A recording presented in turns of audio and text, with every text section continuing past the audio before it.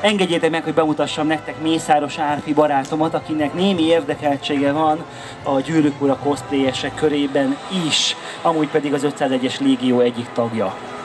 Köszönöm szépen a felkonferálást. Igen, egy Gyűrűk Ura Cosplay Klubnak is a tagja vagyok, illetve az 501-esnek, de most ebben a minutumban most jelenleg éppen a Gyűrűk Uráról, és azon belül is ugye Númenor elveszett királyságáról fogok majd előadást tartani, nem lesz vészes. Csak 3000 év történelméről van szó, semmi gond gyerekek, itt leszünk egy x ideig. Azt ö, hozzá kell tennem, mielőtt mindenki esetleg elborzadna, Árpitól már több mesét, sztorit, történetet hallottam, mindaddig azt gondoltam, hogy valamennyire azért többé-kevésbé jól ismerem Tolkien világát, a gyűrűk urának a történelmét.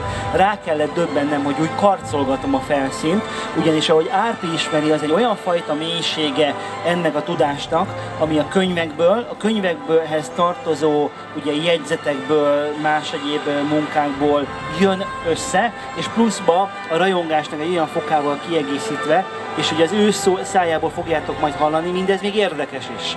Úgyhogy hát kezd el. Nagyon szépen köszönöm. Nos, Númenor elveszett királysága. Miről is szól ugye?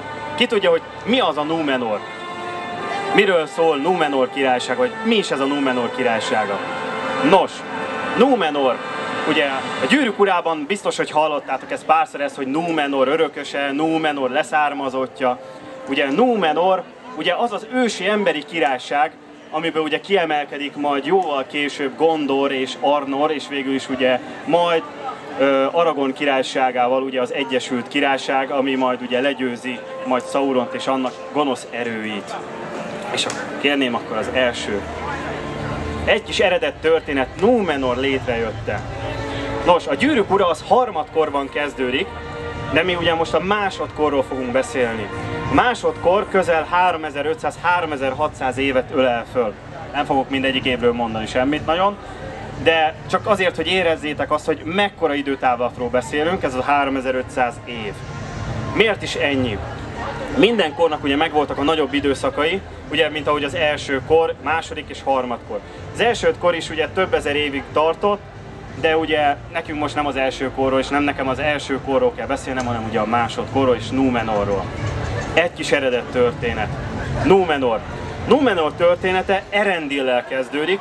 Erendil volt az a hajó, haj, ö, hajós, aki megkérte ugye a valákat, azokat az őrzőket, akik ténylegesen uralkodtak középföldén, hogy a tündéket, illetve az embereket segítsék meg az első nagy ellensége ellen, akit úgy hívtak, hogy Morgoth aki egyben egyébként uh, Sauronnak a mestere volt. Szóval Sauron nem volt az a nagy, nagy sötét úr, ő csak egy szolga volt.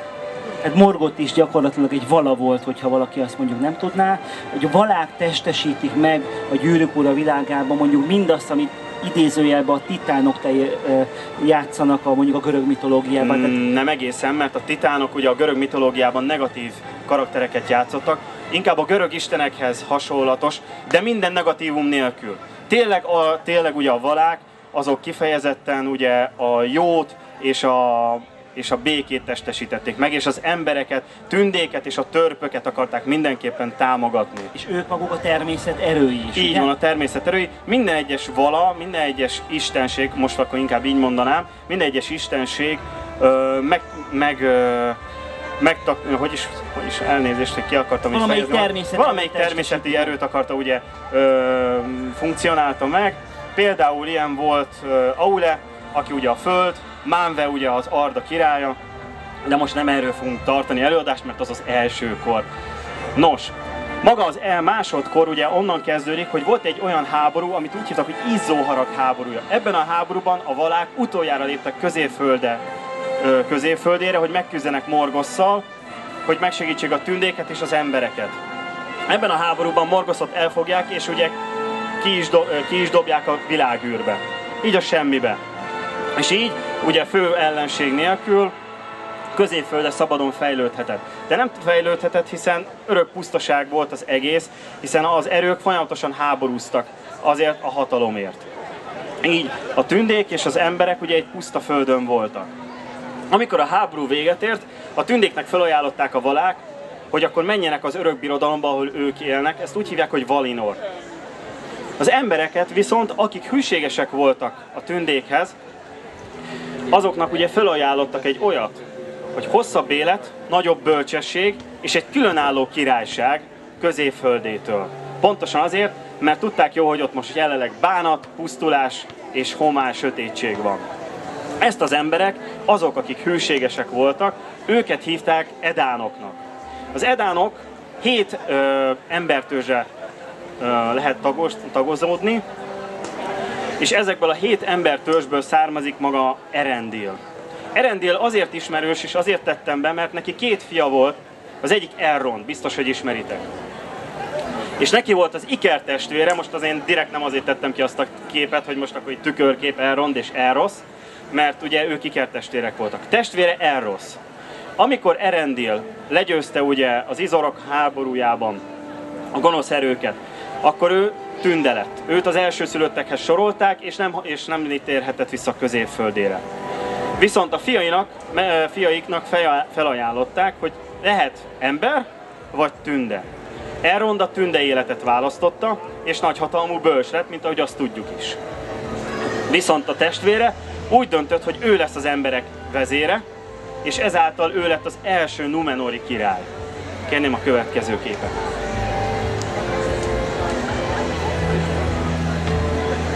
Viszont, ugye lehet, hogy ő lett az első király, de viszont valamin uralkodni kell. Nem csak embereken, de valahol uralkodni is kell. Középföldön nem volt alkalmas arra, hogy ugye lehessen ugye az embereket ugye irányítani, vezetni, illetve hogy sokasodjanak, már csak azért is, mert lehet, hogy borgoszott, ugye a nagy ellenséget elpusztították, vagy elüldözték, de ugye rengeteg gonosz lény ugyanúgy maradt és kószált. Ezért az istenek úgy döntöttek, hogy középföldétől nem messze fölemelnek a tengerből egy különálló szigetet, és azt ajándékozzák az embereknek. Ezt a szigetet hívták az ajándékföldjének Anadunénak. Ez kvanya nyelven, ami egy tündenyelvjárás, egy ősi tündenyelvjárás, nyugathont jelent, ami viszont egy eldai nyelvjárásban, amit ugye középföldén beszélnek, úgy hívják, hogy Numenor, vagy Numenoré. És innen eredeztethető Numenornak a neve is. Ez a, és akkor most jön egy kis földrajz.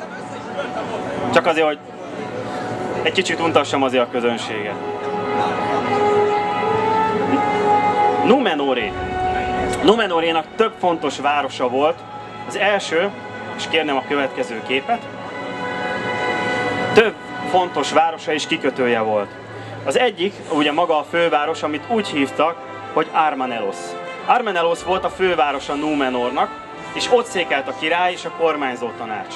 Ez miért volt fontos?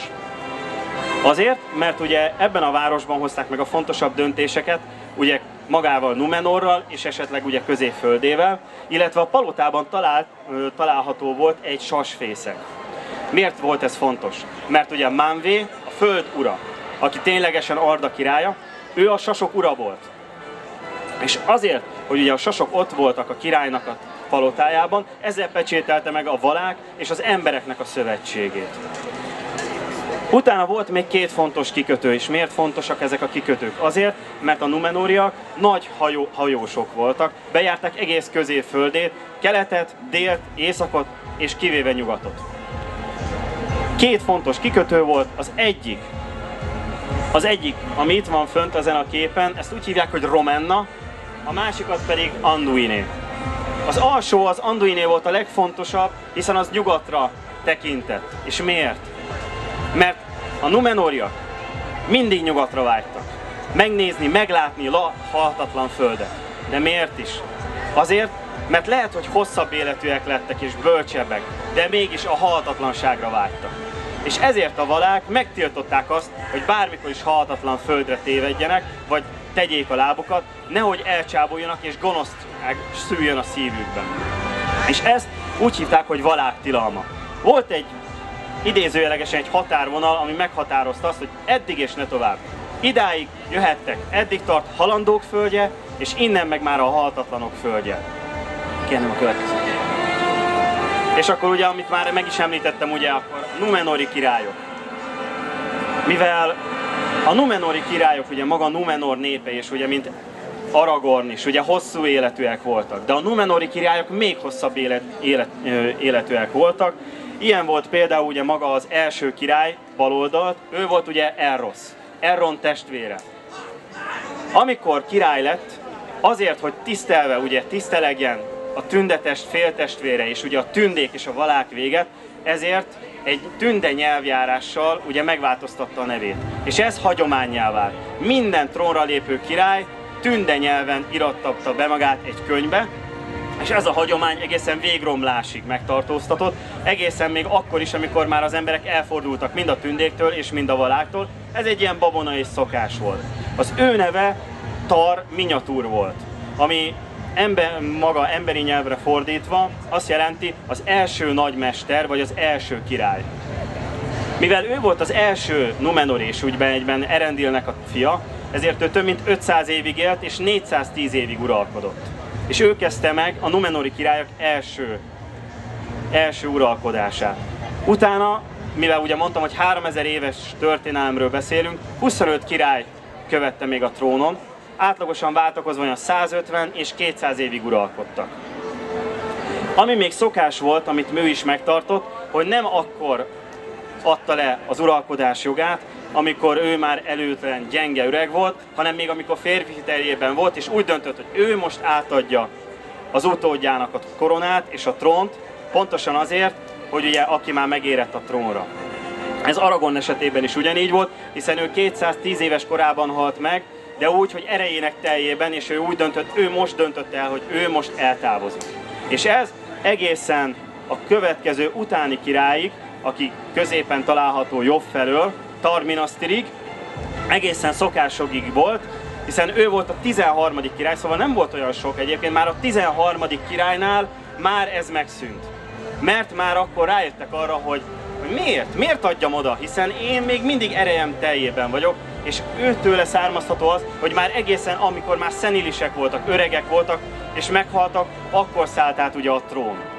De közte van még egy uralkodó, akit úgy hívtak, hogy Tar Elendil, amit ugye ma, emberi nyelve fordítva tünde barát. Biztos, hogy hallottátok azt, hogy Elendil örököse, Elendil utódja, Elendil kardja. Ez pontosan azért van, mert őtől származik, az ő uralkodótól, ő a negyedik uralkodó volt, ő volt az az uralkodó, akitől származható majd Elendil, és ő neki majd lesz majd Isildur, Anárion, és majd 3-4 ezer évvel később Aragorn. Az utolsó király, akiről majd még említést fogok tenni, ő pedig Arany Arpazon, az utolsó Numenori király, aki gőgében olyan annyira megromlott, hogy ő úgy döntött, hogy hatalmas hadsereggel majd meg fogja támadni halhatatlan földjét, és ez lesz majd a veszte is, egyben Numenor veszte is. Kérném a következő képet. És eközben, miközben Numenor fejlődött, gazdagodott, mind tudományban, mind szépségben, mind hatalomban. Hiszen ugye nem csak bejárták ugye kelet középföldét, jobbra-balra, és ugye hozták ugye a tudást, nem csak ugye a tündéktől, mert egészen, ahogy mondtam is, ugye a 13. királyig szoros barátság volt a tündék és az emberek között, addig ugye a tündék is hozták ugye a tudást az emberekhez. És ugye a, maga a tudás, a hatalom, a gazdagság csak nőttön nőtt. De közben középföldéről viszont folyamatosan fogyott. Hiszen senki nem volt ott, hogy figyeljen az emberekre, akik ugye támogassák. A tündék nem foglalkoztak velük, ők meg voltak a maguk kis világában, a törpök szintén, az emberek meg le vannak tolva. Már elnézést a kifejezésért, de a történet szerint tényleg így volt. És ezt ugye valaki kihasználta. Nagyon csúnyán, de kihasználta. És ez nem volt más, mint akit úgy hívtak, hogy Anatár, az ajándékok ura. Más néven Sauron.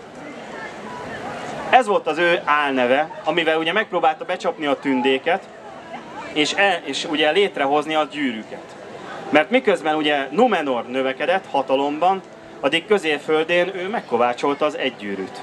Ez úgy középföldek középtáján történt, tehát olyan 1800-as évek tájékán, és akkor ugye a tündék segítségével megkovácsolta az első gyűrűt, a nagy gyűrűt és a többi gyűrűt is. És ugye kikiáltotta magát nem csak ugye középfölde királyának, de egyben az emberek királyának is. De viszont volt egyetlen egy nem ember, hanem tünde, aki vele szembeszállt, az pedig ugye, aki középen látjátok, ő Gilgalad. Ő volt a tündék nagy királya. Ő úgy döntött, hogy szembeszáll a sötétséggel és megküzd vele. Sajnos ez a háború, ami több ezer évig tartott, váltakozó irányban volt, hol győztek, hol vesztettek. és végül is ugye a méleg nyelvét az emberek és ugye a numenoriak segítsége volt, ami ugye megdöntötte, és az nem más volt, akit ugye úgy hívtak, és ő kimaradt sajnos a körből, mert nem találtam jó képet hozzá, de semmi gond. Ő viszont ugye úgy hívtak, hogy Tar Minatir. Tar Minastir, Tar Minastir volt, akit úgy hívtak nagy emberi nyelven, hogy a kapuőrző, a messzelátó. Mert tudta jó, hogy ha nem segít a tündéken, akkor középfölde sötétségbe vonul. És ha sötétségbe vonul középfölde, akkor utána a következő Númenor lesz. Ezért ő hatalmas hadsereggel úgy döntött, hogy támogatja Gilgaladot, és legyőzték Sauron, aki visszamenekült Mordorba, a sebeit nyalogatni és erőt gyűjteni, illetve bosszút forralni. És mi is volt ez a bosszú? Kérnem a következő képet. A bosszú hosszú ideig érlelődött Sauronban, és miért és hogyan történt ez. Miközben Numenor úgy döntött, hogy mégiscsak középföldére teszi lábát, először csak barátilag. Az embereket elkezdte, az ott élő embereket elkezdte támogatni. Városokat építettek, kikötőket. Köztük kettő híres is. Az egyik Pellargrir, ami az Anduinnak a folyásán található. Nem tudom, emlékeztek-e olyanra, hogy Minas Tirith, a főváros, ugye Gondor fővárosa. Alatta van ugye Anduin, amin ugye fölmentek ugye Aragornék. És a torkolatánál volt ez a Pellargir. Ezt kb. úgy képzeljétek el, mint Velence. A vízen úszott, ugye a félváros, és egy hatalmas kikötő volt, hatalmas gályáknak ugye befogadására alkalmas volt, hiszen Numenornak a hatalma olyan volt, mint mondjuk az ókori Kínáé. Több százezeres seregekkel tudtak akár bármelyik földrészre letenni magukat, és ugye a mordoriakat, vagy bármilyen népet ugye térdre kényszeríteni. A másik, a jobb oldali képen található kikötő, az pedig Umbar kikötője, amit ugye a gyűrűk ugye a kalózok birodalmának ö, titulálnak, itt még Numenor egyik fő kikötővárosa volt kelet felé, vagy Harat felé, amik ugye Numenornak az adófizetői voltak. Ezekben a városokban még az közös, hogy ezeket Numenori leszármazottak, vagy maga Elrosznak a leszármazottai voltak, akik irányították. És Sauron, amikor ugye már elkezdte újra a hatalmát növelni, és rájött arra, hogy az emberek félnek a haláltól, mert lehet, hogy 300-400 évig élnek, de akkor is meghalnak. Ezért úgy döntött, hogy a Numenori királyok közül és egy-két keleti király közül egy-kettőt elcsábít. Odaadja a gyűrűt. Azt mondja, tessék fiam, itt van egy hatalom gyűrűje, ezzel te hosszabb ideig fogsz élni, mindössze csak annyi, hogy engem szolgálsz. És szerintem mindentől kezdve ismeritek azt, hogy volt az a kilenc halandó király, akit ugye az álnok Sauron ugye megrontott, és ugye ők lesznek a nazgúlok. És a boszorkány király, aki köztük ugye a leghatalmasabb, ő például Erros, egyik egyenesági utódja. Nevét már nem ismerjük, hiszen ő maga is már elfelejtette, de tudjuk azt, hogy ő egyik leszármazottja volt, és ezért volt ilyen hatalmas. Kérném a következő képet. A homály eljövetele. Igen. Pontosan ez, hogy a homály eljövetele. Ez kb. ugyan 2000 és olyan 2500 év tájékán következett be, amikor az emberek két frakcióra szakadtak. Az egyik a hűségesek voltak, akik hűségesek voltak a valákhoz és a tündékhez, és ápolták a jó kapcsolatot, és középföldére nem hódítóként és rablógyilkosként vagy rablóként támadtak, hanem hogy támogassák és ugye ápolják ugye az ott lévő embereket. Ezzel szemben, akik ugye inkább többségben voltak már Numenorban, azokat hívták a király embereinek, hiszen ebben az időszakban már elfordultak, nem csak a valáktól, hanem a tündéktől is. És ugye ők már félték a halált. Ők nem akarták el, elhagyni középföldét, hanem tovább akartak élni és uralkodni. És ugye ezért, amikor már úgy döntöttek, hogy ezt már nem akarják tovább vinni, és inkább ők a hatalomra és ugye a tovább hosszú életre vágynak, ezért Sauronhoz fordultak, de először ugye Sauron ugye ellenségként kezelte őket, és Arany Arpazon volt az első és egyben utolsó olyan nagy király, aki legyőzte Sauront. Ténylegesen úgy legyőzte Sauron, hogy amikor Sauron kikiáltott az emberek királyának, Arany Arpazon az utolsó király egy hatalmas hadsereggel középföldére tévedt, nem tévedt, középföldére lépett, és meghunyászkodásra kényszerítette Sauront. A középső képen Arany Arpazon az emberek királya, aki ugye kikiáltotta magát az emberek királyának, fogadja Sauron hódolatát. Mert Sauron függetlenül attól, hogy májá volt, ugye egy, egy istenség, attól függetlenül megijedt a Numenoriak hatalmától, és leborult, és meghunyászkodott. Ekkor Aranyarpazon úgy döntött, hogy akkor magával viszi Numenorra, fogolyként. És ez volt Numenor veszte. Mert Sauron úgy döntött, hogy ez kell neki. Ez kell nekem. Hiszen onnan belülről fogom akkor megrontani a Numenoriakat, elpusztítani, és onnantól kezdve már senki nem, fog, senki nem fogja vitatni az én hatalmamat és erőmet. És hozzáteszem, ekkor már a gyűrű már nála volt. Kérem a következő képet. A vég kezdete. Aranyarpazon több mint 70 évig uralkodott, már középkorú volt, amikor átvette a trónt, ezért már ugye, amikor közeledett a, az életének vége, annál gőgösebb és annál jobban félt a haláltól, és közel 50 évig volt Sauron a fogja. De már pár évvel később már ő lett a legbelsőbb tanácsadója is. És egyfolytában azt suktogta, hogy miért, miért a valákat imádott, hiszen van ennél egy hatalmasabb, mindennél erősebb vala, aki a te gyógyíradra meg tudja oldani ezt a bajt, a halált, hogy halhatatlanná tud tenni. És ő nem más, mint Morgosz. És ő félelmében elfordult a valáktól, és ugye a Morgosz iránti szeretetet kezdte el hirdetni, és elkezdte üldözni a hűségeseket is. És ugye Sauron úgy döntött, Sauron úgy döntött, hogy akkor ezt kihasználva egy hatalmas templomot épít, amiben mindent, ami a valáknak, illetve a tündéknek kedves, elpusztítja. Köztük a fehér fát is, ami ugye Gondor és egyben Numenornak a jelképe, Címer pajzsa is. Ez a fehér fa, ez nem más, mint a valák első fényének, első világosságának a fája. Hiszen a valák mielőtt még létrehozták volna a napot és a holdat, akkor fákkal és azoknak a lámpásaival, vagyis gyümölcseivel világították meg egész középföldét. Folyamatosan csak világosság volt. De ezt ugye Morgosz elpusztította. Egy gyümölcs maradt, aminek magját ugye elültették, és annak a magjának és annak a gyümölcsének, vagyis palántájának lett Nimlót, ugye amit a tündék elhoztak Valinorból, a hatatlan földről, és átadtak a királynak. És innentől kezdve az lett a királyfája mindaddig, amíg virágzik, és mindaddig, míg ki nem vágják, addig Numenor királysága élni fog. Ezt Sauron tudta.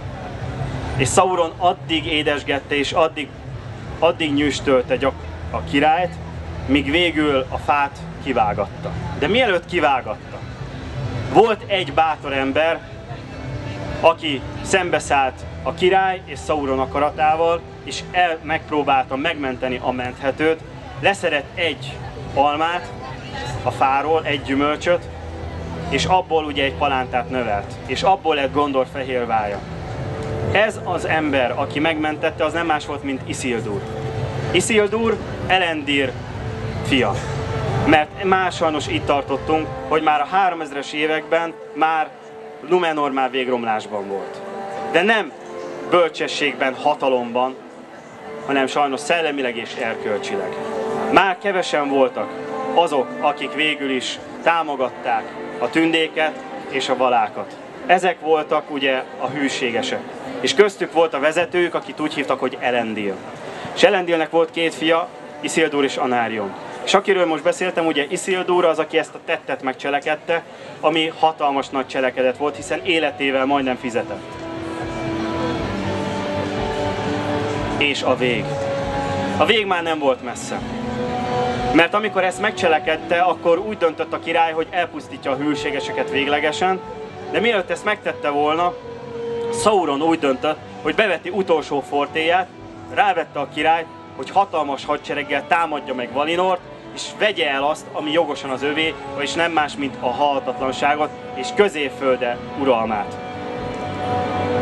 Ez sajnos bejött. Hatalmas hadsereget épített, hatalmas flottát, amivel megtámadta Valinort, de mivel ugye az istenek kell dacolni nem lehet, ezt már tudjuk, így az istenek úgy döntöttek, hogy ők ezt most itt be is fejezik. Akik Valinor földjére léptek, azokat elpusztították. A szigetet pedig, ahonnan keletkezett, oda is tért vissza, elsüllyedt. Csak az a pár hűséges Elendil fiai és azok szűk követői voltak, akik megúzták ezt a pusztítást. És eljutottak középföldére, és királyságot alapítottak.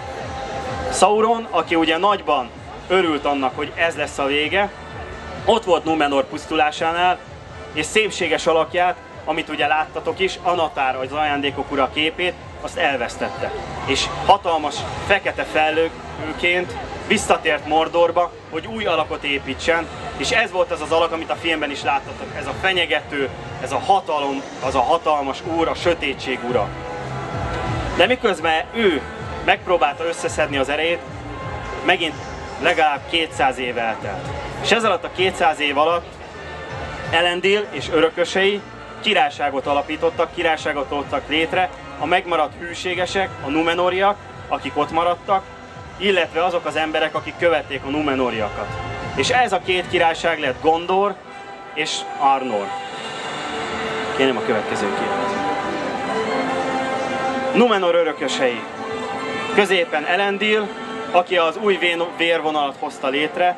Miért mondtam ezt így, mint az állatokat? Azért, mert ez a vérvonal lesz az, ami végül is megszabítja az embereket a végromlástól, majd Aragon képében, aki egyesíti a két királyságot, és ugye békét hoz majd mind az embereknek, tündéknek, törpöknek és a hobbitoknak. Na jó, azért szeretjük a hobbitokat. Egye fene. Ugye? Hosszú keserves év volt, mind a 3000 év dicsőségben és büszkeséggel teli, és szomorúsággal teli, akár csak a tündék korszaka. De végül minden jó, ha a vége jó, hiszen Aragon képében Numenor újra feltűnt, újra hatalmas lett, és végül, még ha halálában is, de megőrizte méltóságát, és végül is becsületét a Numenori nép, a Numenori királyság. De ez már egy másik történet. Árpi, ne arra, hogy hagyd kérdezzek vele egy kicsit, ezt mélyebben tudod, mint én. Ugye Tolkien gyakorlatilag a teljes gyűrűk ura világát a földre írta, illetve úgy szánta, hívjuk ezt legendának, vagy mondának, mindegy, hogy ez a föld egy elfeledett korszakában történt, ugye jól mondom, jól és, a, és a mostani földnek egy gyakorlatilag prehisztorikája, tehát egy előtörténete egy előtörténete így van. Egy olyan előtörténete, hogy amikor Numenor elpusztult, Numenor ugye a víz alá süllyedt. Mint Atlantis. Lelőtted a poént. De ugye amikor, amikor Numenor elsüllyedt, onnantól kezdve már nem ugye Anduinének, az ajándékok országának hívták, hanem Akbalétnak. Ez is egy tündeszó, ami azt jelenti, hogy elbukott, vagy alászállt, vagy egy másik tünde nyelven, vagy numenori nyelven Atalante. Igen, ha úgy vesszük, ugye Atlantis, és Atlantis történetéről szól Numenor, hiszen ugye biztos, hogy olvastátok, vagy ismeritek, hogy ugye az volt az első olyan ö, fejlett királyság, ami ugye először elhozta a nagy civilizációkat, és az utánuk következő civilizációk ugye mind tőle eredeztethetők a mítosz szerint. Na most ugye Tolkien munkásságában talán ez az egyik nagyon-nagyon szenzációs dolog, hogy olyan mélyen átgondolva találta ki ezt az egészet, és hogyha megnézzük, hogy mikor és hogyan vetette papírra, ugye az első világháború után gyakorlatilag ő már várjon, mikor, mikor volt ő az Oxfordon professzor, és azt hiszem onnan von el katonának, de ugye a, a gyűrűk urának a nagy részét lövészárukban írta, levelekben küldte haza a fiának, hogy ott felolvassa ugye az anyjuk mind esti mese. Hát ha nem tudom, hogy kit érdekel egyáltalán egy kicsit ez a Tolkieni történet, tegye fel valaki a kezét. Rendben, oké. Okay. Nos, egy kicsit akkor korrigálok. 1914-ben, amikor kitölt az első világháború, akkor ő még nem volt professzor, ő még csak hallgató volt, és az egész, az egész osztály úgy döntött, hogy önként és dalolva bevonul a seregbe. Mivel akkor még ugye a nagy háború az olyan, olyan mítikus volt. Kaland, hiszen ugye az akkori időszak, ugye a viktoriánus korsz, és akkor ugye biztos, hogy sokan ismerik a steampunkot, ugye az egy kaland volt, ugye, hogy olyan mítosz, olyan lovagias. És ugye mivel Tolkien és az a társaság, amit ők létrehoztak, ők ugye a mitológiával foglalkoztak, hiszen ők megpróbálták egy új mítoszt, egy új mitológiát létrehozni, mert Angliának nem volt mitológiája. Angliának olyan mitológiája volt, hogy nem volt gyakorlatilag volt az Arthur mítosz, illetve volt a keltáknak a hitvilága, amivel Tolkien találkozott, és szembesült azzal Debrit, ugye brit mitológia nincs. Igen, mert ugye az Arthur legenda, az Arthur legenda és ugye a Beowulf, amit ugye mindig szoktak emlegetni, ez mind angol száz mitológia. És ezért úgy döntöttek, hogy létrehoznak egy új mitológiát, egy új mítoszt, és ez volt az, amit ugye gyűrűk urának is nevezhetünk. Elnézést.